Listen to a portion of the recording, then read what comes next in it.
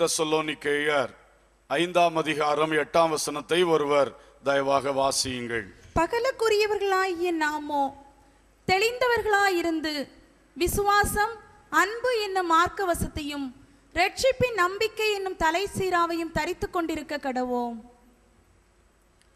விசுவாசம் என்னும் மார்க்க மார்க்கவசத்தை தரித்து கொண்டிருக்க கடவோம். எபேசியர் ஆறாம் அதிகாரம் பதினாறாம் வசனம். பொல்லாங்கன் எய்யும் அக்னியாஸ்திரங்களை எல்லாம் அவித்து போடத்தக்கதாய் எல்லாவற்றிற்கும் மேலாக விசுவாசம் என்னும் கேடகத்தை பிடித்து கொண்டவர்களாயும் நில்லுங்கள். விசுவாசம் என்னும் கேடகத்தை பிடித்து கொண்டவர்களாக நில்லுங்கள். இங்கே விசுவாசம் என்பது ஒரு மார்க்கவசமாக நம்முடைய நெஞ்சை பாதுகாக்கின்ற ஒரு கவசமாக அணிந்து கொள்ள வேண்டும் என்றும் கையிலே தற்காப்பு ஆயுதமாய் பிடித்து தன்னை பாதுகாக்கின்ற கேடகமாக விசுவாசத்தை பிடித்து கொள்ள வேண்டும் என்றும் நமக்கு உணர்த்தப்பட்டிருக்கின்றது. மார்க்கவசம் என்பது நிலையாக தரித்திருக்கக்கூடிய ஒன்று. கேடகம் என்பது கையிலே பிடித்து எல்லா திசையிலும் வருகிற எதிர்ப்புகளை சமாளிக்கிறதற்காக உள்ளது. இப்படிப்பட்ட ரெண்டு விதமாகவும் விசுவாசத்தை தரி பிடித்து கொள்ளுங்கள் தரித்து கொள்ளுங்கள் என்று சொல்லப்பட்டிருக்கிறதை பார்க்கிறோம். விசேஷமாக சத்ரு அவன் எய்கின்ற அக்னி அஸ்திரங்கள். பயங்கரமான அக்னி அஸ்திரங்களை பொல்லாங்கன் எய்து கொண்டே இருக்கிறான். அவைகளையெல்லாம் அவித்து போடத்தக்கதாக நீங்கள் சர்வாயுத வர்க்கம் தரித்து நிற்க வேண்டும். கேடகத்தை விசுவாசத்தை முன்னே தூக்கி பிடித்து கொண்டு இருக்க வேண்டும். அல்லேலூயா! எனக்கு விசுவாசம் இருக்கிறது. கேடகம் கையில் இருக்கிறது. ஆனால் கேடகத்தை நான் பிடிக்க வேண்டிய காரியத்திலே எடுத்து பிடிக்கவில்லை என்றால் கேடகம் இருந்தும் பிரயோஜனம் இல்லாமல் போய்விடும். கேடகம் இருக்கிறது சும்மா கா- கால் மாட்டில் வச்சுட்டு நமக்கு எதிர்ப்பு வரும்பொழுது அதை தூக்கி பிடிக்காமல் இருந்தால் என்ன பிரயோஜனம்? எனவே தான் சொல்ல கேடகத்தை பிடித்து கொண்டவர்களாக நில்லுங்கள். ஹலலூயா முதலாவது நமக்கு கேடகத்தை பிடித்து நம்மை பாதுகாக்க வேண்டிய ஒரு இடம் பொல்லாங்கன் எய்கின்ற அக்னி அஸ்திரங்கள். பல விதங்களிலே அவன் நயவஞ்சகமாகவும் தந்திரமாக மற்றும் நேரடியாகவும் பல தாக்குதல்களை கொண்டு வந்து கொண்டே இருக்கிறான். இந்த பொல்லாங்கனுடைய சகல தாக்குதல்களிலும் நாம் ஜெயம் பெறுவதற்கு பாதுகாவல் பெறுவதற்கு இந்த கேடகத்தை பிடித்தவர்களாய் நிற்க வேண்டும். ஹலலூயா ஹலிலூயா நான் இதை தாவீதின் தாவீது கோலியா சரித்திரத்திலிருந்து சொல்லும்படியாக விரும்புகிறேன். ஒன்று சாமுவேல் பதினேழாம் அதிகாரத்திலே நாம் பார்க்கின்றோம் தாவீது கோலியாத்தை ஜெயித்தான். எப்படி ஜெயித்தான்? ஒரு மிக முக்கியமான காரியம் என்னவென்றால் இந்த தாவீது எப்படி இந்த பெரிய கொடிய கோலியாத்திற்கு நேராய் தைரியமாய் போனான் என்று கேட்டால் விசுவாசம் என்ற கேடகத்தை பிடித்து கொண்டு அவன் தைரியமாக போனான். அல்லேலூயா! விசுவாசம் என்ற கேடகம் அவன் கையில இருந்தது அவனுக்கு மற்றவர்களைப் போல உள்ள கேடகங்களும் மற்றவர்களைப் போல உள்ள ஆயுதங்களும் அவன் கையில் இல்லை. ஆனால் அவனிடத்தில் மற்றவர்கள் இல்லாத மற்றவரிடத்தில் இல்லாத ஒரு விசேஷம் விசுவாசம் இருந்தது. அந்த விசுவாசத்தை தூக்கி கேடகமாக பிடித்து கொண்டவனாக அவன் முன்னே சென்றான். அவன் பாதுகாக்கப்பட்டது மட்டுமல்ல ஜெயம் பெற்றான். அல்லூயா எனவே இந்த விசுவாச கேடகத்தை பிடிக்கிறவர்களாக நாமும் இருக்க வேண்டும். அன்றைக்கு பாருங்கள் சவுலும் இஸ்ரவேலர்களும் இந்த விசுவாசம் என்கிற கேடகத்தை பயன்படுத்த முடியாதவர்களாக இருக்கிறார்கள். சிலரிடத்திலே கே- அந்த கேடகம் இல்லை. சிலரிடத்தில் இருந்தாலும் கோலியாத்துக்கு நேராய் தூக்கி பிடிக்க அந்த அளவுக்கு அந்த விசுவாச கேடகத்தை தூக்கி பிடிக்கக்கூடிய தன்மை அவர்களுக்கு வரவில்லை. அதனாலே சில இடத்துல ஒருவேளை இருந்திருக்கலாம் எங்கள் தேவன் வல்லவர் காப்பாற்ற வல்லவர் என்ற விசுவாசம் இருந்திருக்கலாம்.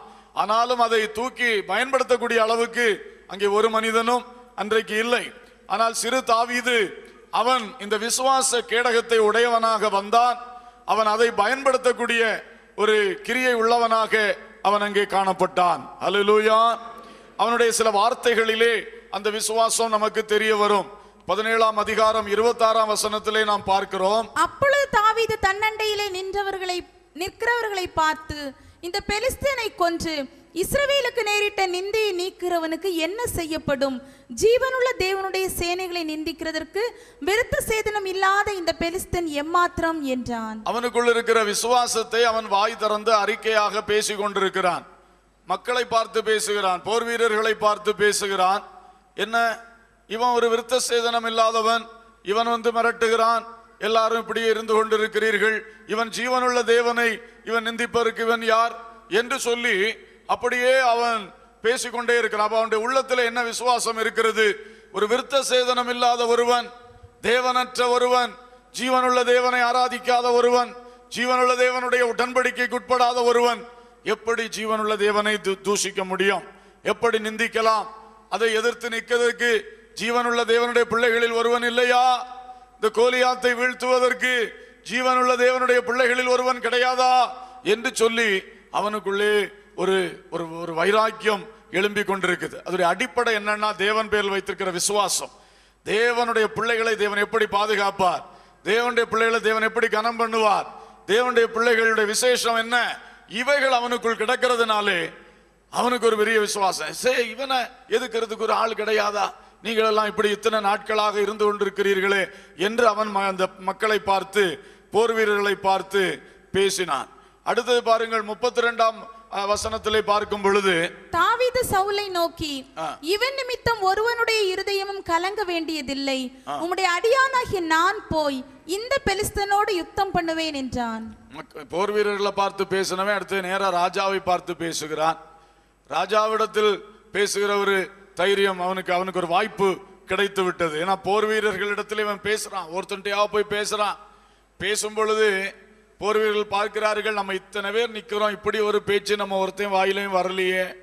இத்தனை நாளாக நம்ம லெஃப்ட் ரைட்டு போட்டு முன்ன வாரோம் ரைட் லெஃப்ட் போட்டு பின்னால் போயிட்டு இருக்கிறோம் இதைத்தான் செஞ்சிட்டு இருக்கிறோமே தவிர நம்ம கிட்ட ஒருத்தன்ட்டையாவது ஒரு வார்த்தை இந்த சின்ன பையன் எங்கேருந்தோ வந்தவன் பேசுறதுல ஒரு வார்த்தை கூட பேசுறதுக்கு நமக்கு வரலையே. இப்போ இவன் இதை பேசுகிறானே என்று சொல்லி இவன்கிட்ட ஏதோ இருக்கிறது என்று சொல்லி நேராக ராஜாவிட்ட கூட்டிகிட்டு போயிட்டான். ராஜாவிடத்துல போய் தைரியமாக சொல்கிறான் ராஜாவே இவன் நிமித்தம். அவன் அவன் பாருங்க அப்பவே சொன்னான் இவன் யார்? இப்ப ராஜாட்ட சொல்றான் இவன் நிமித்தம் ஒருத்தரும் கலங்க வேண்டிய அவசியம் இல்லை. எவ்வளவு சிம்பிளா கீழே அவனை வைத்து பேசுகிறான் பாருங்கள். அல்லையிலூயா அதான் விசுவாசம். அவனுக்குள்ள இருக்கிற ஒரு பெரிய விசுவாசம். நான் யார்? தேவனுடைய பிள்ளை. இவன் என்ன செய்ய முடியும்? இவன் தோற்றம் பெருசா இருக்கும். இவன் ஆயுதம் பெருசா இருக்கும். ஆனா முடிவிலே நான் தான் வெற்றி பெறுவேன். அவன் தோல்வி அடைவான். அல்லையிலூயா ஏன்னா அது அவன் தலையில் எழுதப்பட்டது. அவன் தோல்வி தான் அடைவான். தேவ பிள்ளைகளுக்கு விரோதமாக எவன் எழும்பினாலும் தோல்வி தான் அடைவான். அல்லையிலூயா முடிவிலே வெற்றி. தேவ பிள்ளைகளுக்கும் தேவனுக்கும் தான். ஆமேன். அல்லையிலூயா எனவே பிரியமானவர்களே அந்த ஒரு விசுவாசம் அவனுக்குள்ள இருந்தது. அந்த விசுவாசம் இருந்தனால ராஜாடு சொல்றான் இவன் நிமித்தம் யாரும் கலங்க வேண்டிய அவசியம் இல்லை. உமது அடியானாகிய நான் போய் இந்த பெலிஸ்தனோட யுத்தம் பண்ணுவேன். அப்படி சொல்றான். கத்தருக்கு ஸ்தோத்திரம். இன்னும் கீழே வாசிக்கும் பொழுது முப்பத்தி நாலுலேருந்து முப்பத்தி ஆறு வரை சொல்லுகிறான். ஐயா ராஜாவே நீர் என்னை நம்ப மாட்டேங்கிறீரு. ஆனால் ஒன்று தெரியுமா? நான் ஆடு மேய்த்து கொண்டிருக்கிறவன் தான். ஆனால் அந்த ஆடு மேய்த்து கொண்டிருந்த வேளையிலே ஒரு தடவை ஒரு சிங்கம் வந்து என்னுடைய ஒரு ஆட்டை பிடிச்சிருச்சு. பிடிச்சிருச்சு இனி அவ்வளோதான் சொல்லி நான் விடாமல் அதை தொடர்ந்து போய் அதன் வாயிலிருந்து ஆட்டை நான் பிடித்து எடுத்து அது என்னை எதிர்த்த பொழுது அதை நான் அடித்து கொண்டு போட்டேன். அல்லையிலூயா சிங்கத்துக்கும் அப்படிதான் செய்தேன். கரடிக்கும் அப்படிதான் செய்தேன். அப்போ என்னுடைய ஆடு என் கையில் ஆண்டோர் தந்திருந்த ஆட்டை அந்த சிங்கம் எப்படி கொண்டு போக முடியும்? அந்த கரடி எப்படி கொண்டு போக முடியும்? என்று சொல்லி அவனுக்குள்ள இருந்த ஒரு வைராக்கியம் அவனுக்குள்ள ஒரு பெரிய விசுவாசம் இருக்கிறது. இந்த தேவன் தான் தந்தது. அவர் என் கையில் தந்ததை. அதுக்காக நாம் போராடும் பொழுது நாம் முன்னே இறங்கும் பொழுது என்னை கைவிட மாட்டார். என்னோடு நிற்பார் என்று சொல்லுகிற ஒரு பெரிய விசுவாசம் இருந்தது. அல்லேலூயா. ஸ்தோத்திரம். சிங்கம் வந்திருந்தா விரட்டி இருக்கலாம். பிடிச்சிருச்சே. இனி என்ன செய்யன்னு சொல்லி அவன் பார்க்கல. எப்படி பிடிச்சிட்டு போக முடியும் என்று சொல்லி அவன் அதை பின்தொடர்ந்து போனான். அல்லலூயா. எனவே அங்கே அவன் சொல்லுகிறான் அந்த விருத்த சேதனம் இல்லாத பெலிஸ்தியனும் இந்த மிருகங்களில் ஒன்றை போலதான் ஐயா இருப்பான். அதனால இவன் நிமித்தம் நீங்க ஒருத்தரும் கலங்க வேண்டிய அவசியம் இல்லை. நான் எப்படி சிங்கத்தையும் கரடியும் வீழ்த்தினேனோ அதே பிரின்சிபிள் போதும். அதே பிரின்சிபிள் அதே ஃபைத் பிரின்சிபிள் அதே விசுவாச கோட்பாடை இவனுக்கு நேராக நான் பயன்படுத்தினா போதும். கர்த்தர் ஜெயம் தருவார். அல்லேலூயா எப்படி எந்த விசுவாச கோட்பாடை நான் அந்த பிரச்சனையிலே பயன்படுத்தினேனோ அதே விசுவாச கோட்பாடை இந்த புதிய பிரச்சனை இதிலும் பயன்படுத்தினால் போதும். நான் பாதுகாக்கப்படுவேன். கர்த்தர் எனக்கு ஜெயம் தருவார். அல்லலூயா இன்னைக்கு சாத்தான் ஒவ்வொரு முறை ஒவ்வொரு விதமான போராட்டங்களை உங்கள் வாழ்க்கையிலே கொண்டு வருகிறான். ஒன்றை ஜெயித்தீர்கள் அடுத்ததை ஜெயித்தீர்கள். ஆனால் வேறு விதமான போராட்டங்களை கொண்டு வருகிறான். அது ஒவ்வொன்றும் போராட்டம் வித்தியாசமாக இருக்கிறது. ஆனால் கொண்டு வருகிற சாத்தான் ஒரே நபர்தான். பின்னணியிலிருந்து கிரியை செய்கிற சாத்தான் ஒரே நபர்தான். இவன் பல பிரச்சனைகளை எழுப்புகிறான். எல்லா பிரச்சனையிலும் நமக்கு ஒரே ஒரு கண்ணோட்டம் இருக்க வேண்டும். நான் தேவனால் தெரிந்து கொள்ளப்பட்டவன். நான் தேவனால் தெரிந்து கொள்ளப்பட்டவள். நான் ப- இயேசுவின் ரத்தத்தினாலே பாவமர கழுவப்பட்ட பாத்திரம். நான் இயேசுவோடு ஞானஸ்நானத்திலே உடன்படிக்கை செய்து கொண்ட ஒரு நபர். நான் பரலோக முத்திரையாகிய பரிசுத்தாவின் அபிஷேகம் பெற்ற ஒரு நபர். எனக்கும் மற்றவர்களுக்கும் வித்தியாசம் உண்டு. ஆமென். கைகளை வைத்து சொல்லுங்க. அல்லேலூயா. வித்தியாசம் உண்டா இல்லையா? இன்னைக்கு அந்த சிந்தை நம்மளை விட்டு போனதுனால தான் எல்லாம் ஓ, இப்படியாக ஒன்று போல இருந்து கொண்டிருக்கிறது. நமக்குள்ளே ஏன் தாவீதுக்குள்ள இருந்த ஒரு சிந்தை வரவில்லை. நான் விருத்த சேதனம் பெற்றவன் அவன் விருத்த சேதனம் பெறாதவன். ஆகவே முடிவிலே ஜெயம் எனக்கு தான் தோல்வி அவனுக்கு தான் அதனால அவனை நான் சிம்பிளா போய் எதிர்க்க முடியும். அல்லலூயா பிரச்சனைகள் எதுவா இருக்கட்டும் ஆனால் முடிவிலே ஜெயம் எனக்கு தான் எத்தனை பேர் சொல்ல முடியும்? ஏன்னா நான் அபிஷேகம் பெற்ற தேவ பிள்ளை. நான் ஞானஸ்தானம் பெற்ற தேவ பிள்ளை. நான் ரத்தத்தினால கழுவப்பட்ட தேவ பிள்ளை.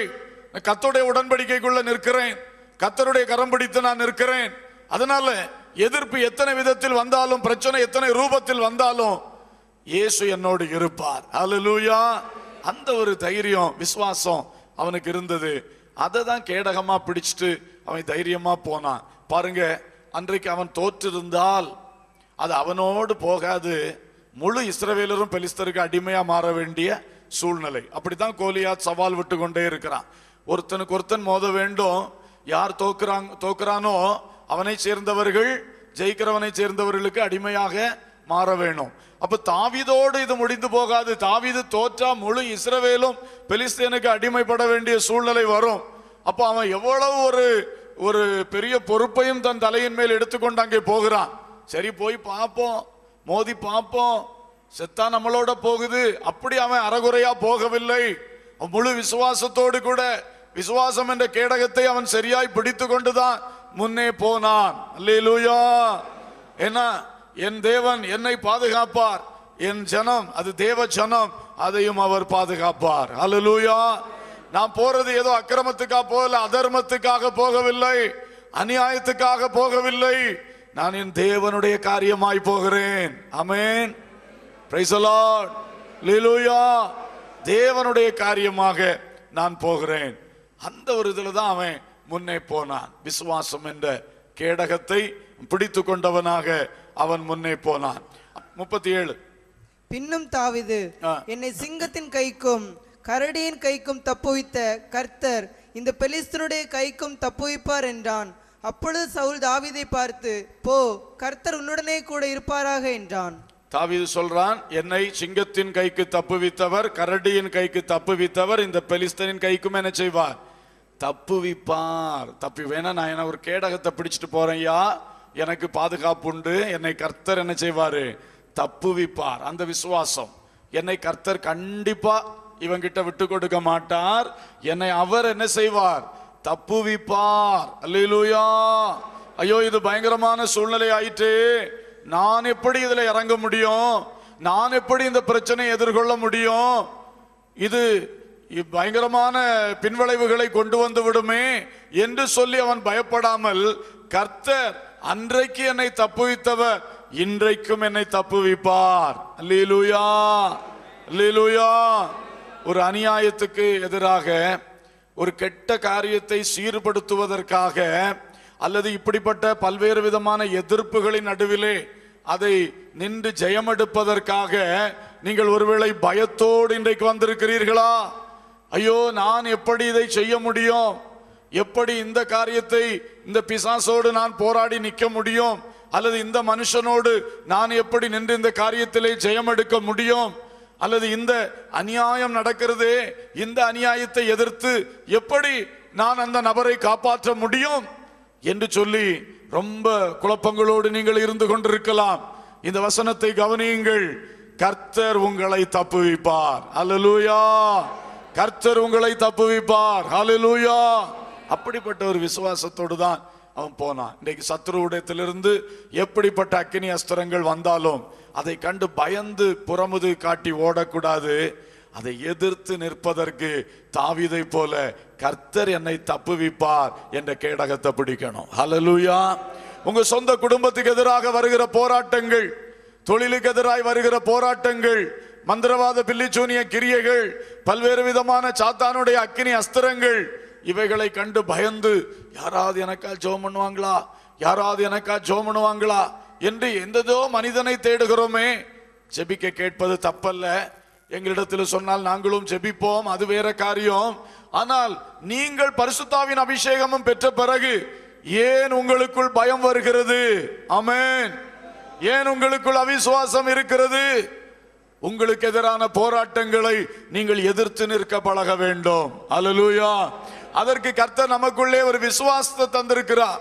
இந்த விசுவாசத்தை கேடகமாய் பிடித்து கர்த்தர் என்னை தப்புவிப்பார். கர்த்தர் என்னை தப்புவிப்பார் லீலுயா நிச்சயமாக சில வேளை பிசாசுகளோடு எதிர்த்து போராடும் பொழுது பிசாசு அதிகமாய் மிரட்டுவது உண்டு. ரொம்ப மிரட்டுவான். சொப்பனங்களிலே வந்து மிரட்டுவான். ஆபத்துகள் வருவது போல அவன் காட்சிகளை தந்து மிரட்டுவான். சு- பயங்கரமான காரியங்களை செய்வான். ஏனென்றால் அவனை எதிர்த்தால் அவனுக்கு தோல்வி வரும். அதனால எப்படி மிரட்டி பயங்காட்டி தள்ளலாம் என்று சொல்லி அவன் பல முயற்சிகளை எடுப்பான். ஆனால் அந்த நேரத்தில் தான் கர்த்தர் என்னை தப்புவிப்பார். நான் இந்த பிசாசுக்கு எதிராக போராடுகிறேன். இந்த ஆத்மாவை விடுவிக்கும்படி இவருடைய வியாதி சுகமாகும்படி அல்லது இவருடைய வாழ்க்கையில் இருக்கிற கட்டுகள் அவிழ்க்கப்படும்படி நான் போராடுகிறேன் நான் ஜெபிக்கிறேன். அப்போ பிசாசு என்னிடத்தில் வந்து மிரட்டுகிறான் அதற்கு நான் பயப்படக்கூடாது. ஏனென்றால் கர்த்தருடைய அபிஷேகம் எனக்குள் இருப்பதினாலே கர்த்தருடைய ஊழியமாக நான் அதை செய்வதனாலே கர்த்தர் ஒருபோதும் என்னை அவன் கையில் விடமாட்டார். மாட்டார் நான் உங்களுக்கு ஏற்கனவே சொல்லி இருக்கிறேன் அதைத்தான் நான் திரும்ப நினைப்பூட்டுகிறேன். நீங்க பரிசுத்தாவின் அபிஷேகம் பெற்ற கத்தோடைய பிள்ளைகளே எந்த பிசாசை எதற்கும் நீங்க பயப்பட வேண்டிய அவசியம் கிடையாது. நீங்க தைரியமா போகலாம். நீங்க தோல்வி அடையவே மாட்டீங்க. நீங்க உங்களை பிசாசு கையில தேவன் விடவே மாட்டார். கர்த்தர் உங்களை தப்புவிப்பார். எப்ப தோல்வி வரும்னா நீங்களே உங்களுக்கு கெடுதி உண்டாக்குறதுல தான் தோல்வி வரும். நீங்களே உங்களுக்கு கெடுதி உண்டாக்காமல் இருந்தால் போதும். தேவன் உங்களை கைவிடவே மாட்டார். அல்லலூயா என்ன? பாவங்களுக்கு இடம் கொடுக்கிறது. கெட்ட காரியங்களுக்கு இடம் கொடுக்கிறது. கெட்ட சிந்தனைகள் கெட்ட கிரியைகள் இவைகளுக்கு தங்களுடைய வாழ்க்கையில இடம் கொடுத்தா அப்புறம் என்னாச்சு? பிசாசுக்கு இடம் கொடுத்தாச்சு. பிசாசுக்கு இடம் கொடுக்கும் பொழுது உள்ள பலவீனம் ஆகுது உள்ளுக்கு எல்லாமே ஒன்றும் இல்லாம போகுது. அப்போ சாத்தானுக்கு இடம் வந்துருச்சு இல்லையா? தேவன் எப்படி உதவி செய்ய முடியும்? ஆண்டவர் பாவிகளுக்கு உதவி செய்ய முடியாதுல்ல? அதனால பாவத்துக்கு இடம் கொடுக்காதபடி அந்த பாவத்தின் போராட்டங்கள் வந்தாலும் கத்துடைய பாதத்திலே விழுந்து ஜெபித்து சில வேளை சில குறைகள் வந்து தாக்கி விட்டாலும் உடனே அதை அறிக்கை செய்து திருந்தி விட வேண்டும். அதிலேயே தொடரக்கூடாது. தொடர்ந்தா பெரிய ஆபத்தாக முடிந்துவிடும். அல்லூயா கத்தருக்கு ஸ்தோத்திரம். நான் கடந்த நாளிலே சவுலுடைய சரித்திரத்தையும் தாவிதுடைய சரித்திரத்தையும் எரோபயாமுடைய சரித்திரத்தையும் கொஞ்சம் கம்பேர் பண்ணி படித்து கொண்டிருந்தேன். கத்தருக்கு ஸ்தோத்திரம். சவுல் ஆண்டவரால் அபிஷேகம் பண்ணப்பட்ட ராஜா. தாவிதம் ஆண்டவரால் அபிஷேகம் பண்ணப்பட்ட ராஜா. சவுல் தப்பு செய்தான். என்ன தப்பு செய்தான்? அவன் தேவனுடைய க- வார்த்தையும் தேவனுடைய கட்டளைகளையும் புறக்கணித்தான். இதுதான் அவன் செய்த தப்பு. கொஞ்சம் பெருமைக்கு இடம் கொடுத்தான். தனக்கு என்று சொல்லி சுயநலத்துக்கு இடம் கொடுத்தான். கொஞ்சம் கத்தோடைய கட்டளைகளை அவன் கை கொள்ளாமல் போனான். அவனுடைய வாழ்க்கை பரிதாபமான ஒரு முடிவுக்குள் போயிற்று. அப்படி ஒரு இஸ்ரவேலின் ராஜா மரணம் அடைஞ்சிருக்கவே கூடாது. தா- புலம்பல் பாடுகிறான் இஸ்ரவேலின் அலங்காரம் கில்போவா மலையில் வெட்டுண்டு போயிற்றே. அந்த சவுல் தற்கொலை செய்து செத்து போனார். தன் பட்டயத்தை தானே நட்டி அதிலே தானே விழுந்து பரிதாபமான ஒரு முடிவை தழுவி கொண்டார் என்ன சங்கடம்? கத்தருக்கு ஸ்தோத்திரம். தாவிதும் அபிஷேகம் பெற்ற மனுஷன். தாவிது பாவம் செய்தார். என்ன பாவம்? வெளியே சொல்ல முடியாத பயங்கரமான பாவம் வேசித்தனம். அது மட்டுமா? அதையும் செய்துவிட்டு அதை மூடி மறைக்கிறதுக்காக ஒரு உத்தமனான மனுஷன் உரியாவை கொலை செய்து போட்டான். வேசித்தனமும் செய்து கொலபாதகம் செய்த மகாபாதகன் தாவீது. ஆனா அந்த தாவீது நிலை நிற்கிறான். சவுல் பயங்கரமாய் அழிந்து போனான். தாவீது கடைசி வரை நிலை நின்று நல்ல ஒரு முடிவுக்குள் வருகிறான். காரணம் என்ன? அவன் விழுந்தான். ஆனால் மிகவும் மனங்கசந்து அழுந்து அவன் கர்த்தரிடத்திலே மன்னிப்பை பெற்று வாழ்க்கையிலும் அந்த பாவம் அப்புறம் செய்யாதபடி திருந்தி கொண்டான். அல்லேலூயா! அல்லேலூயா! அதான் விசேஷம். சவுலோ திருந்தவில்லை. சவுல் செய்த அளவுக்கு தாவிது செய்யலன்னு சொல்லலாம். அது ஒரு வித பாவம். இது அசுத்தமான பாவம். வெளிப்படையா எவ்வளவு மோசமான காரியம். எவ்வளவு பாதிப்பு கொலைபாதகம். இதெல்லாம் நடந்துட்டுது. ஆனாலும் பாருங்கள் உண்மையான மனஸ்தாபத்தோடு அவன் தன்னை தாழ்த்தின பொழுது உண்மையாய் அதுக்கு பிறகு அவன் அப்புறம் அப்படிப்பட்ட பாவம் செய்யாதபடி அவன் அதிலிருந்து ஒரு தெளிவான விடுதலை பெற்றுக்கொண்ட பிறகு கர்த்தர் அவனை ஆசீர்வதித்தார் தலைமுறை தலைமுறையாய் அவனை நிலைநிறுத்தினார். அல்லூயா எனவே நம்முடைய வீழ்ச்சிக்கு காரணம் சத்துரு அல்ல. நம்முடைய வீழ்ச்சிக்கு காரணம் நாம் தான் இதை எல்லா சரித்திரத்திலும் நீங்க படித்து பார்க்கலாம். யார் வீழ்ச்சி அடைந்தார்களோ அவள் சத்ருவினால தாக்கப்பட்டு வீழ்ச்சி அடையவில்லை அவர்கள் தங்களுக்குள்ளே தங்களை தாக்கி கொண்டார்கள். தங்களை அழித்து கொண்டார்கள். தங்களை கெடுத்து கொண்டார்கள். தங்களிடத்தில் வந்த தவறிலே அவர்கள் திருந்தாமல் வாழ்ந்தார்கள். தங்களிடத்தில் வந்த தவறுகளுக்காக மனஸ்தாபப்படாமல் வாழ்ந்தார்கள். தவறுகள் சுட்டிக்காட்டப்பட்ட பிறகும் அவர்கள் திருந்தவில்லை. அதை ஏற்றுக்கொள்ளவில்லை. அதுக்கு நியாயம் பேசினார்கள். அந்த தவறு செய்ததுக்கு நியாயம் பேசிக் கொண்டிருந்தார்கள். அப்படி எத்தனை பேர் இன்னைக்கு இருக்கிறீங்க? தவறை ஒத்துக்கொள்ளாமல் தவறு உணர்த்தப்படும் பொழுது அதை அதுக்காக தாழ்த்தி திருந்தாமல் அந்த தவறுகளை நியாயம்தான் என்று நியாயம் கற்பித்து கொண்டு போகிறவர்கள். இதுதான் கீழ்ப்படியாம போகிறவர்கள் திருந்தாம போகிறவர்கள் உணராமல் போகிறவர்கள் தான் சவுலை போல பயங்கரமான வீழ்ச்சி அடைவார்கள். ஆகவே நம்ம ரொம்ப கவனமாக இருக்க வேண்டும். அல்லேலூயா! பிரியமானவர்களே வீழ்ச்சி என்பது நமக்குள் தான் இருக்கிறது. எனவே நாம் குற்றம் செய்யாமல் நாம் நம்முடைய வாழ்க்கையை காத்துக்கொண்டு தவறுகள் வந்துவிடும் என்றால் உடனடியாக தேவனிடத்தில் அதை சரி செய்து கொண்டு எப்பொழுதும் தேவன் நம்மோடு இருக்கிறார் என்பதை சரி செய்து கொண்டால் எந்த சாத்தானுக்கும் எந்த கோலியாத்துக்கும் எந்த போராட்டத்துக்கும் பயப்பட தேவையே இல்லை. அல்லேலூயா! அல்லேலூயா! நம்முடைய வாழ்க்கையை கத்தருக்கு என்பதாக தாழ்மைப்படுத்துகிறவர்களா இருக்க வேண்டும். குற்றங்கள் உணர்த்தப்பட்டால் உடனே திருந்தி சரி செய்து அதில் வெற்றி எடுத்து வாழுகிறவர்களாக இருக்க வேண்டும். நம்முடைய குற்றங்களை பாவங்களை தவறுகளை நம்முடைய பலவீனம் என்று சொல்லி அதற்கு இடம் கொடுக்கக்கூடாது. மனசுல இடம் கொடுக்கக்கூடாது. அது தேவனுக்கு பிரியம் அல்லாதது ஏதேனும் சொல்லி சொல்லி சமாளிக்கிறவர்களா இருக்கக்கூடாது. சவுல் சாமுவேல நல்லா சமாளிக்கிறதுக்கு இதெல்லாம் பேசினான். ஆனால் சாமுவேல் கத்தோடைய வார்த்தையை கரெக்டாக சொன்னார். நீ கத்தரை புறக்கணித்து விட்டாய். என்னை சமாளித்து இப்ப பிரயோஜனம் இல்லை என்று சொன்னார். சவுல் திருந்தவும் இல்லை. ஆகவே நாம் கவனித்துக் கொள்ள வேண்டும். விசுவாசம் என்பது மிகவும் முக்கியம். கத்தருக்கு ஸ்தோத்திரம். தாவீது விசுவாச வார்த்தையை போர் வீரர்களிடத்தில் பேசினான் ராஜாவிடத்தில் பேசினான். கடைசியாக அவன் எதிரியிடத்திலும் பேசினான். பதினேழாம் அதிகாரம் நாற்பத்தி ஐந்திலிருந்து பார்க்கும் பொழுது நாற்பத்தி ஐந்து வாசிங்க. அதற்கு தாவீது பெலிஸ்தனை நோக்கி நீ பட்டயத்தோடும் ஈட்டியோடும் கேடகத்தோடும் என்னிடத்தில் வருகிறாய். நானோ நீ நிந்தித்த இஸ்ரவேலுடைய இராணுவங்களின் தேவனாகிய சேனைகளுடைய கர்த்தரின் நாமத்தினாலே உன்னிடத்தில் வருகிறேன். இன்றைய தினம் கர்த்தர் உன்னை என் கையில் ஒப்புக் கொடுப்பார் எப்படி பாருங்க விசுவாச அறிக்கை. நான் உன்னை கொன்று உன் தலையை உன்னை விட்டு வாங்கி பெலிஸ்தருடைய பாளையத்தின் பிணங்களை இன்றைய தினம் ஆகாயத்து பறவைகளுக்கும் பூமியின் காட்டு மிருகங்களுக்கும் கொடுப்பேன். அதனால் இஸ்ரவேலில் தேவன் ஒருவர் உண்டு என்று பூலோகத்தார் எல்லாரும் அறிந்து கொள்வார்கள். கத்தர் பட்டயத்தினாலும் ஈட்டியினாலும் ரட்சிக்கிறவர் அல்ல என்று இந்த ஜன கூட்டமெல்லாம் அறிந்து கொள்ளும் யுத்தம் கத்தருடையது அவர் உங்களை எங்கள் கையில் ஒப்பு கொடுப்பார் என்றான் இந்த இவ்வளவு இந்த வசனங்களையும் நம்ம உட்கார்ந்து அதை வாசித்து ஒவ்வொரு வார்த்தையா தியானித்து பார்த்தா தாவிதுடைய உள்ள என்ன நிறைந்திருந்துன்னு சொல்லி நம்ம ஒவ்வொன்றா கண்டுபிடிக்கலாம். அநேக அருமையான குணாதிசயங்கள் அவனுக்குள்ள இருந்தது. அந்த பண்டில் ஆஃப் குட் வர்ச்சியூஸ் அதுதான் அவனை ஒரு பெரிய மனுஷனாக மாற்றி இருக்கிறது இந்த மூணு வசனத்துக்குள்ளே எத்தனை எத்தனையோ நான் அதை இப்போ சொல்ல போனால் பிரசங்கம் வேறையா போய்விடும். ஆனால் அந்த காரியத்தை மட்டும் நான் சொல்லுகிறேன். அவன் சொல்லுகிறான் கர்த்தருக்கு ஸ்தோத்திரம். இன்றைய தினம் கர்த்தர் உன்னை என் கையில் என்ன செய்வார்? ஒப்பு கொடுப்பார். இன்னும் யுத்தத்து தொடங்குறதுக்கு முன்னாடியே அவன் போகும்போது சொல்கிறான் பாருங்க விசுவாசத்தை அறிக்கை பண்ணுறான் நான் வந்து கத்தோடைய நாமத்தில் வர்றேன். இன்றைய தினம் என்ன நடக்க போகுது தெரியுமா கோலியாத்தே? கர்த்தர் உன்னை என் கையில் என்ன செய்ய போறாரு? ஒப்பு கொடுக்க போறாரு. நான் உன் தலையை என்ன செய்ய போறேன்? சொல்லுங்க. உன்னை விட்டு எது? இந்த இதை வச்சா கேட்டபிள்கிட்ட வச்சா? இதென்ன வச்சுதான் கவன். கவனை மட்டும்தான் கையில் கொண்டு போனான். கவனையும் கல்லையும். கவனையும் கல்லை வச்சு தலையை எப்படி வாங்க முடியும்? விசுவாச அறிக்கையை பாருங்க. எனக்கு ஆயுதம் வேண்டாம். உன் கையிலே உன்னை கொல்லுற ஆயுதம் ஆண்டவர் வச்சிருக்கிறார். அலலுயா சத்ருவே எனக்கு ஒன்றும் வேண்டாம். உன்ன மாதிரி நான் ஒன்றும் வேஷம் கட்ட வேண்டிய அவசியம் இல்லை. உன் கையிலே இருக்கு நீ அழிகிறதுக்குள்ள ஆயுதம். அதை கர்த்தர் இப்போ பயன்படுத்துவார் பாரு. அல்லேலூயா என்ன அழகா சொல்றான். நான் உன் தலையை உன்னை விட்டு வாங்கி பெலிஸ்தருடைய பிணத்தை எல்லாம் இன்னைக்கு நினைச்சு போறேன்? விருந்து வைக்க போறேன். அதனால ரெண்டு காரியம் சொல்றா ஒண்ணு பூலோகத்தர் எல்லாரும் இன்னைக்கு ஒண்ணு அறிய போறாங்க. தேவன் இஸ்ரவேலிலே தேவன் ஒருவர் உண்டு என்று சகல பூலோகத்தாரும் இன்னைக்கு என்ன செய்ய போறாங்க?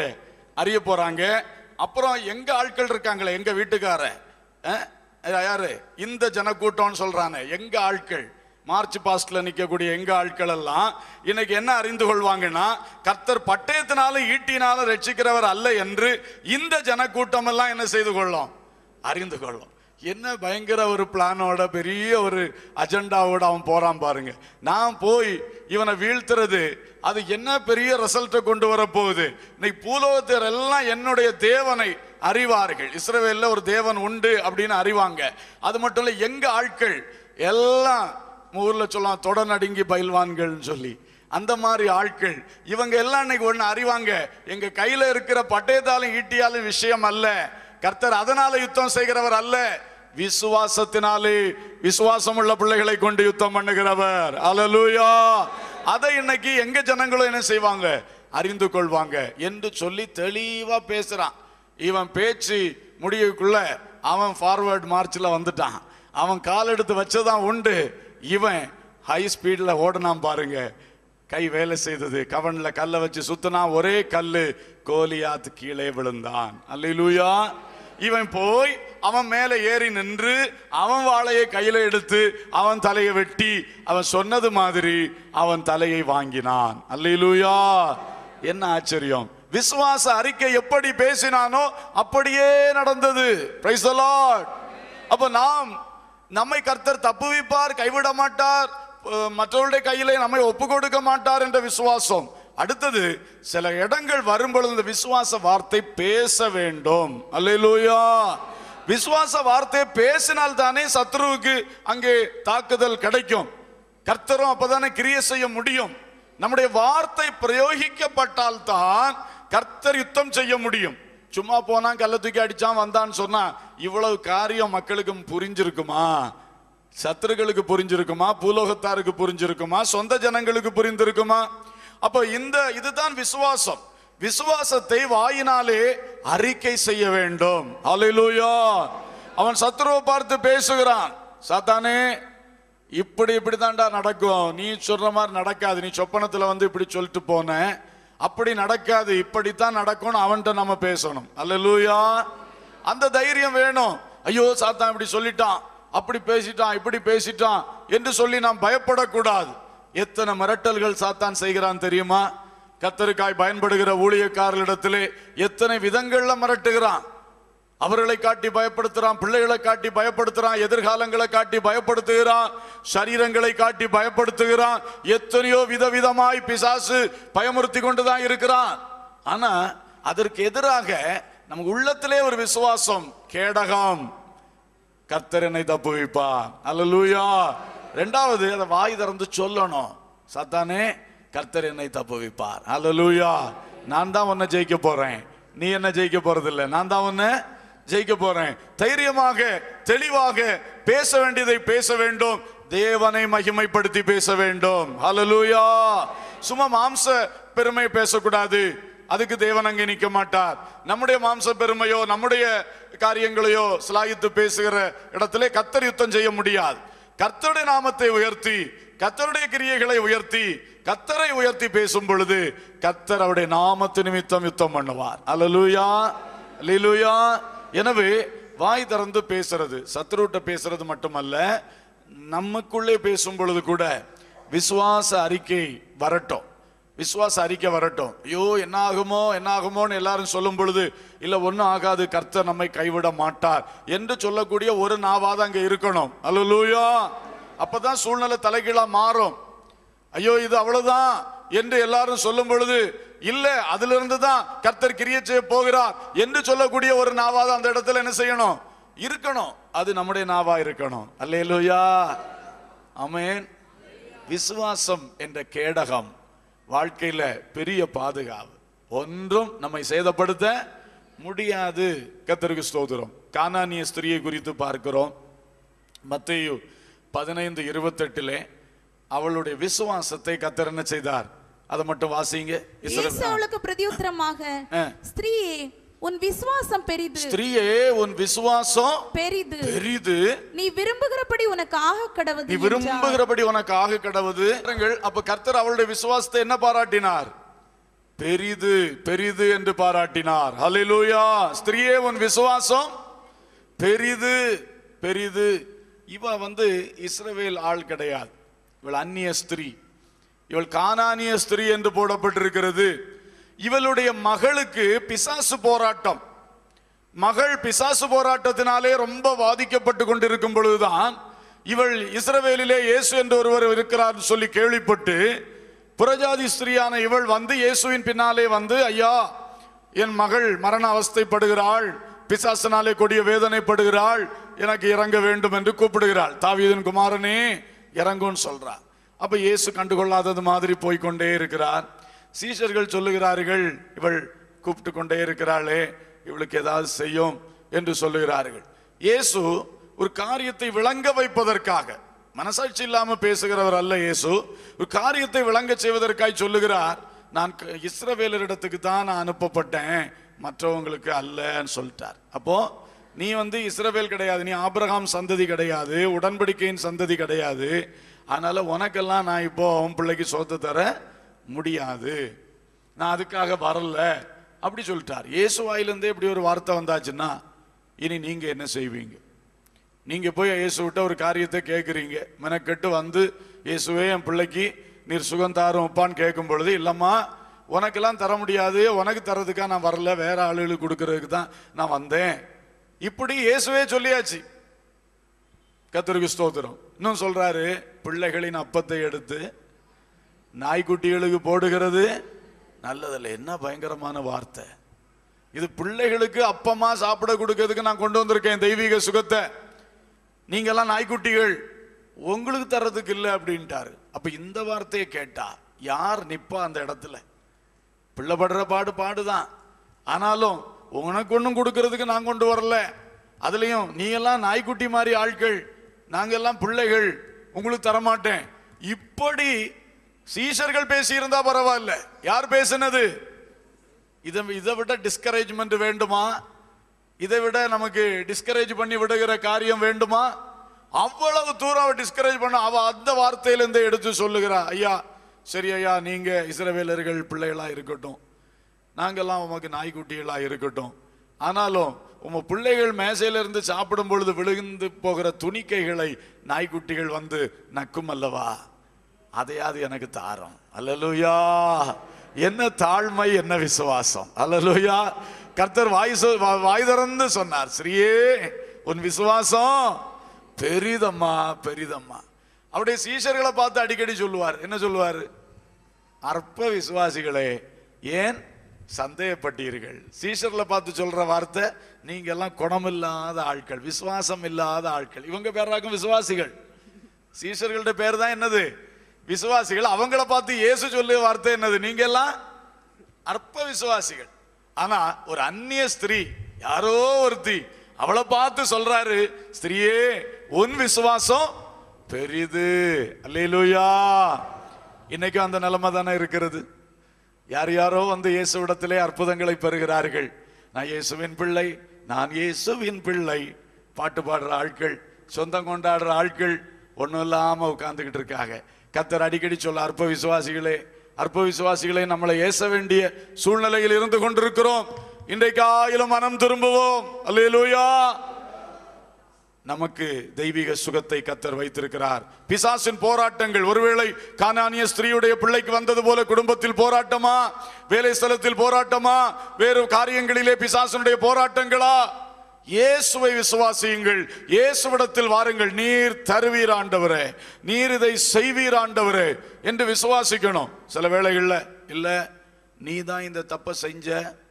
நீ அன்னைக்கு இப்படி செஞ்சதுனால தான் அந்த பிசாசு உள்ள நுழைஞ்சான் அப்படின்னு சில வேளை சொல்லலாம். இவளுக்கு சொன்னது மாதிரி நமக்கு ஆண்டவர் சொல்கிற பதில் சில வேளை நம்மளை தட்டி விடுறது மாதிரி இருக்கும். அப்பமும் விடக்கூடாது. இந்த கானானிய ஸ்திரீகிட்ட தான் நம்ம படிக்கணும். அப்படி சொன்னாலும் ஆண்டவரே அந்த குற்றத்தை எனக்கு மன்னிச்சிரும்ப்பா ஆனா கட்டாயமாய் நீர் மன்னிக்கிறவரும் விடுவிக்கிறவரும் என்று நான் அறிந்திருக்கிறேன். கட்டாயம் எனக்கு விடுதலை வேண்டும். அல்லூயா இயேசுவே சொல்லிட்டாரு உணர்த்திட்டாரு நான் செய்த தப்புனால தான் வந்து போச்சு. ஆமா நான் செய்த தப்புனால தான் வந்தது. ஆனா இப்ப அந்த தப்பு மன்னிக்கப்படணும். இன்னைக்கு விடுதலை உண்டாகணும். அது இயேசுவால முடியும். நீர் தருவீர் நீர் மன்னியும் நீர் விடுதலை தாரும் என்று அந்த விசுவாசம் நமக்குள் எழும்பட்டும். அப்ப கர்த்தர் முதல்ல இப்படி சொன்னாலும் பிறகு சொல்லுவார் உன் விசுவாசம் பெரியது அல்லேலூயா. உன் விசுவாசத்தை செக் பண்றதுக்கு தான் ஒருவேளை கர்த்தர் அப்படி சொல்லுவார்.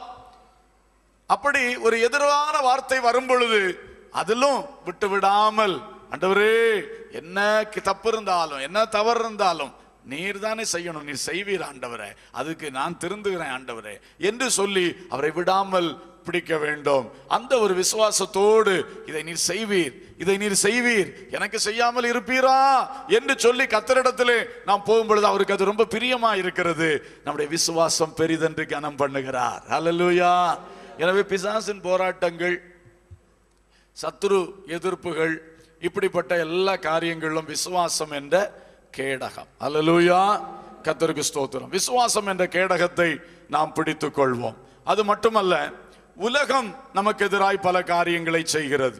அப்பொழுதும் நாம் இந்த விசுவாசம் என்கிற கேடகத்தை தான் பிடிக்கணும். யோவான் பதினாறாம் அதிகாரம் முப்பத்தி மூன்றாம் வசனத்திலே இயேசு சொன்னார் நான் உலகத்தை ஜெயித்தேன். ஒன்று யோவான் ஐந்தாம் அதிகாரம் நான்காம் வசனத்திலே சொல்லப்பட்டிருக்கிறது நம்முடைய விசுவாசமே உலகத்தை ஜெயிக்கிற ஜெயம். அந்த ஒன்றியோவானிலே சொல்லப்பட்டு வருகிற உலகம் என்னவென்றால் உலகமும் அதன் ஆசை இச்சைகளும் என்ன செய்து போகும்?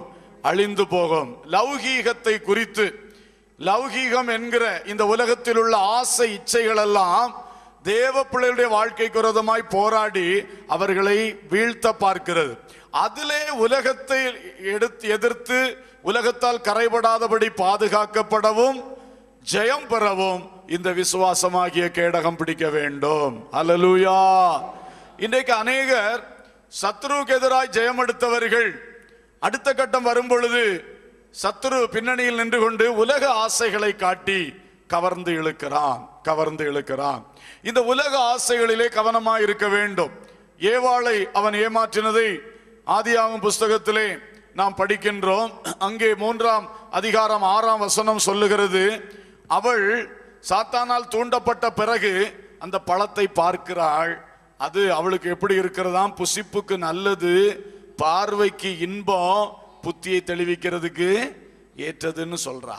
சாத்தான் தூண்டி விட்ட உடனே அவளுக்கு எங்க தூண்டி விட்டுருக்கு பாருங்க? புசிப்புக்கு நல்லது மாம்சத்தின் இச்சை. அவளுக்கு ஆசை ருசி மாம்சத்தின் இச்சை. மாம்சத்தின் இச்சை என்பது பல விதங்களில் இருக்கிறது. ஒரு ஆகாரத்து மேல ஆசை வைக்கிறதும் மாம்சத்தின் இச்சை தான் பசி ஆசை இச்சை அது அடுத்தது எங்க போகுது? அது ரொம்ப கொடூரமான நிலைகளுக்கு போகிறது. கத்திரிக்கு ஸ்தோத்திரம். மோசமான அவலட்சணமான காரியங்களுக்குள்ள கொண்டு போகுது. இதெல்லாம் எதில் வருது? மனுஷன் அவனுக்கு சில ஆசைகள் சில பசிகள் இதுக்காக ஓடுகிறான். இப்படித்தான் வருகிறது. எனவே இந்த புசிப்புக்கு நல்லதுன்னு சொல்லி இந்த மாமிச இச்சையை தூண்டி விடுகிறான். பார்வைக்கு இன்பம் என்று சொல்லி கண்களின் இச்சையை தூண்டி விடுகிறான் கண்களின் இச்சை. ஆகவே மாம்சத்தின் இச்சை கண்களின் இச்சை. மூன்றாவது அவன் தூண்டி விடுகிறது இது புத்தியை தெளிவிக்கிறதுக்கு ஏற்ற கனி. இது சாப்பிட்டா தேவனை மாறி ஆயிடலாம். தேவர்களாக மாறிவிடலாம். சாத்தான் அப்படிதான் சொல்லி கொடுத்தான். எனவே அந்த ஜீவனத்தின் பெருமை நான் மனுஷனா இருந்தா போதாது. நான் அதுக்கு மேல ஆக முடியுமா? என்று சொல்லுகிற ஒரு பெருமை. இதுதான் ஒன்றியோவான் இரண்டாம் அதிகாரத்திலே பதினான்காம் வசனத்திலே சொல்லப்பட்டிருக்கிறது. உலகத்தை மனுஷனை உலகத்தை மனுஷனுக்கு காட்டி சாத்தான் வஞ்சிக்கிறது. இந்த மூணு ஐட்டத்தில் தான் வஞ்சிப்பான். மாம்சத்தின் இச்சை கண்களின் இச்சை. அடுத்தது என்னது? ஜீவனத்தின் பெருமை. இயேசுவானவரையும் இதே மூன்று காரியத்தில் தான் சாத்தான் சோதித்தான். முதலாவது லூகா சுவிசேஷன் நான்காம் அதிகாரம் இரண்டு மூன்று நாளில் படிக்கிறோம். அவர் பசியா இருந்தார்னு பார்த்து அவருக்கு மாம்ச இச்சையை தூண்டி விட பார்க்குறான். அவன் பசியை தீக்கிறதுக்கு கல்லை அப்பமாக்கி சாப்பிடலாமே. என்று சொல்லலாம் மாம்சத்திலே வந்து அவன் சோதனையை வைக்கிறான். இயேசு ஜெயித்தார். உடனே அடுத்தது லூக்கா நாலு ஐந்து முதல் எட்டு வரை படிக்கிறோம். உயர்ந்த மலையிலே கொண்டு நிறுத்திவிட்டு பார்வைக்கு காட்டுறான். உலக நாடுகளை பாரும். எல்லாம் இதான் உலகம். இது என் கையில் இருக்கிறது உமக்கு தருகிறேன் என்று சொல்லுகிறான். கண்களின் இச்சையை தூண்டுகிறான். கத்தருக்கு ஸ்தோத்திரம். மூன்றாவது அவன் தேவாலயத்து உப்பரிக்கையில கொண்டு நிறுத்திவிட்டு ஒன்பதாம் வசனத்திலிருந்து படிக்கும்போது சொல்லுகிறான் நீர் தேவகுமாரனால் தாழ குதியும் உடைய அதிகாரத்தை ஒன்று நிரூபியும் தூதர்கள் தூக்கி கொண்டு போவார்களே. ஆண்டவர் இயேசு அதுக்கும் இடம் கொடுக்கவில்லை. ஆகவே ஜீவனத்தின் பெருமை. இந்த மூன்று ஆஸ்பெக்ட்ல தான் அவன் இயேசுவையே சோதித்தான் முதல் குடும்பத்தை வீழ்த்தினான். இன்றைக்கு எல்லாரிடத்திலும் இதே சோதனை தான். எந்த சோதனையா இருந்தாலும் இந்த மூன்றில் ஒரு காரியத்தில் தான் வரும். மாம்ச இச்சையை தூண்டுகிறதாக கண்களின் இச்சையை தூண்டுகிறதாக ஜீவனத்தின் பெருமையை தூண்டுகிறதாக வரும். இந்த மூன்று வித போராட்டங்கள் தான் உலகம் கொண்டு வருகிறது.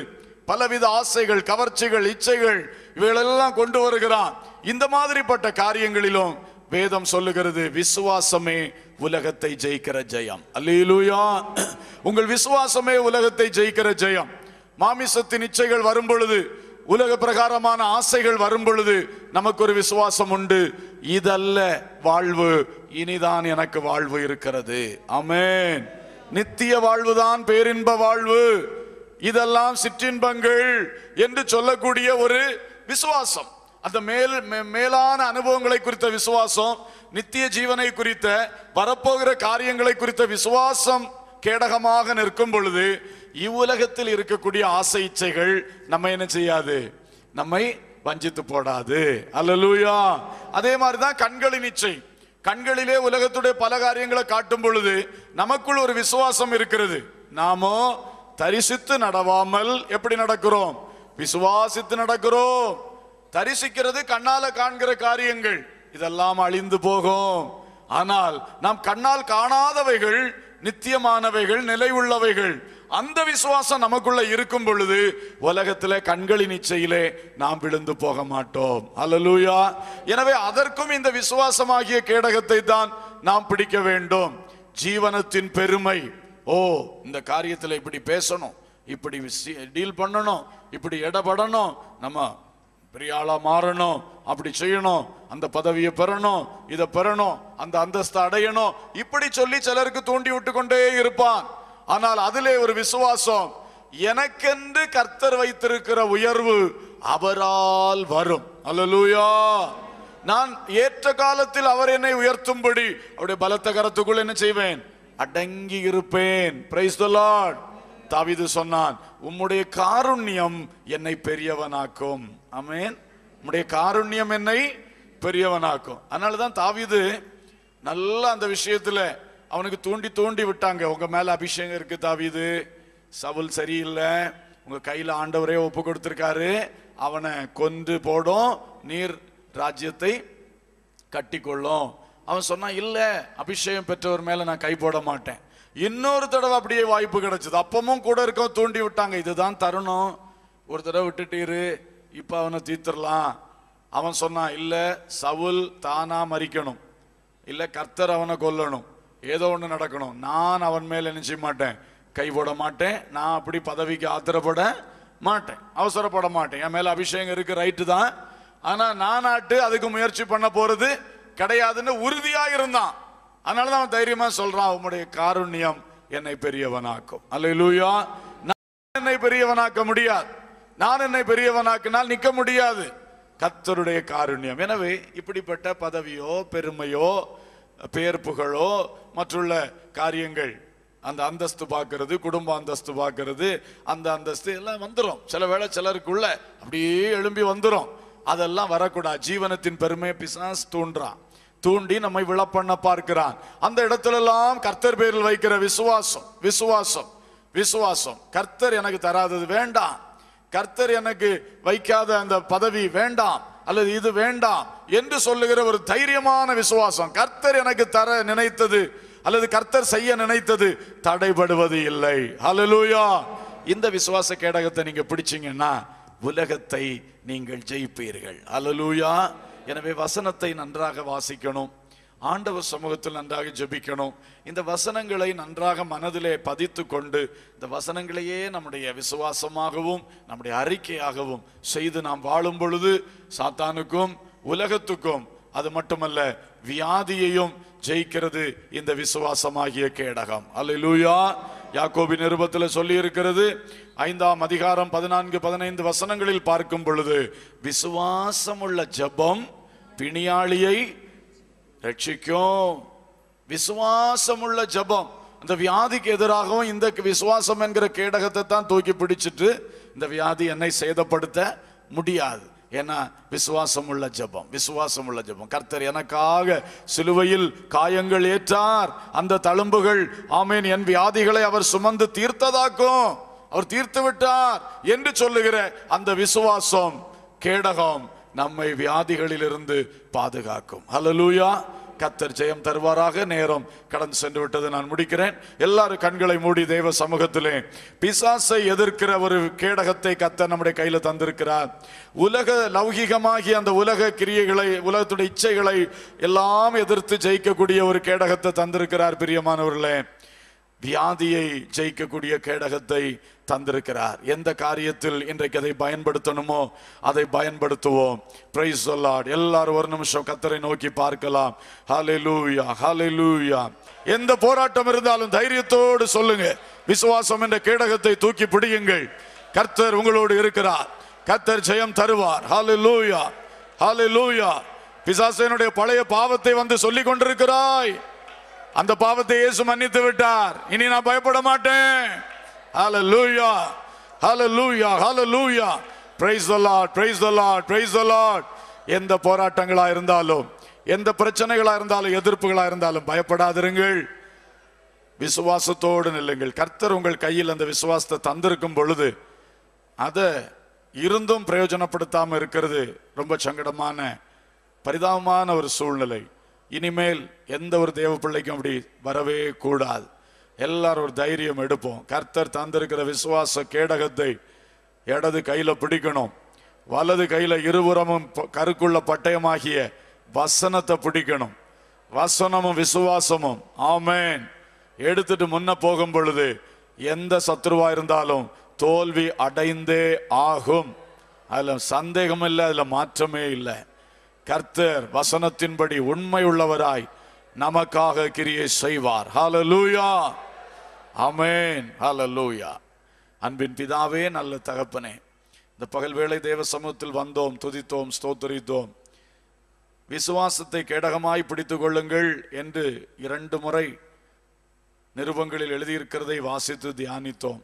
அதை மார்க்கவசமாகவும் கேடகமாகவும் பிடித்து கொண்டு இந்த உலகத்தில் எங்களை எதிர்க்கக்கூடிய சத்துருக்கள் இந்த உலக உலகமாகிய அந்த மாயையிலிருந்து வரக்கூடிய எங்களை வீழ்த்தக்கூடியதான காரியங்கள் வியாதிகள் பாவங்கள் எல்லாவற்றையும் நாங்கள் ஜெயம் எடுக்கத்தக்கதாக இந்த விசுவாசத்தை எப்பொழுதும் துலக்கமாக தூக்கி பிடிக்கக்கூடிய ஒரு கிருபை எங்களுக்கு தாருமையா. விசுவாசத்தில் பலவீனமாயிருக்கிறவர்களை கத்தருடைய ஆவியானவர் பலப்படுத்த வேண்டும். நான் எங்களிடத்திலே விசுவாச குறைகள் உண்டு தகப்பனே. தசலோனிக்கையில் எழுதியிருக்கிறது போல எங்கள் விசுவாச குறைகள் அகல வேண்டும் அப்பா. குறைகள் நிறைவாக வேண்டும் அப்பா. தேவன் கிரியை செய்யும்படியாய் ஜெபிக்கிறோம். ஒவ்வொருடைய விசுவாச வாழ்விலும் ஆண்டவர் இந்த நாட்களிலே கிரியை செய்யும்படியாய் ஜெபிக்கிறோம். வரப்போகிற ஜெப நாட்களிலே எங்களுடைய வாழ்க்கை ஒன்று கூட பிரகாசம் அடைய வெற்றி எடுக்க விசுவாசம் எங்களுக்குள் வளர்ச்சி அடையட்டும் அப்பா. பலந்து பெருகட்டும் தகப்பனே. பெரிய காரியங்களை செய்யும். உடைய பரிசுத்த நாமத்தை நீர் மகிமைப்படுத்தும். வந்திருக்கிறவுடைய பிள்ளைகளை ஆசீர்வாதத்தோடு தேவ கிருபையோடு அனுப்புவீராக. தக்கலை சபையிலே அந்த ஊழியத்திலே நீர் வெற்றி எடுக்கிறதற்காய் ஸ்தோத்திரம் ஸ்தோத்திரம் ஸ்தோத்திரம். உங்களுடைய கரத்திலே ஒப்பு கொடுக்கிறோம். சகல துதி கனம் மகிமை உமக்கே நாங்கள் ஏறெடுக்கின்றோம். இயேசுவின் நாமத்தில் கேட்கிறோம் ஜீவனுள்ள பிதாவே. ஆமேன்.